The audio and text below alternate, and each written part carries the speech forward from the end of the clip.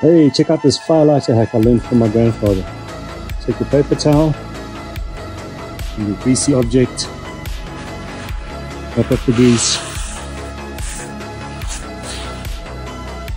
And we're not going to throw away this paper towel, we're going to keep it somewhere safe and dry.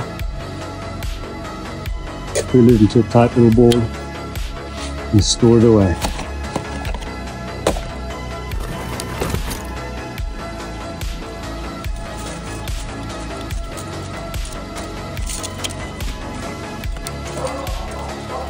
And if you forget to buy the firelighters, there's a backup. This hack gets bonus points for cleaning up the grease too. And if you think I made this video for educational purposes, you'd be wrong. It's because I forgot to buy the flippin' firelight.